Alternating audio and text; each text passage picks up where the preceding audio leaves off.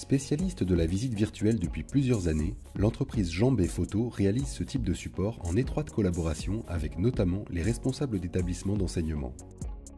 Après l'élaboration d'un cahier des charges précis, vient l'étape des prises de vue sur site à l'aide d'un boîtier réflexe plein format, d'un objectif fisheye et d'une tête panoramique.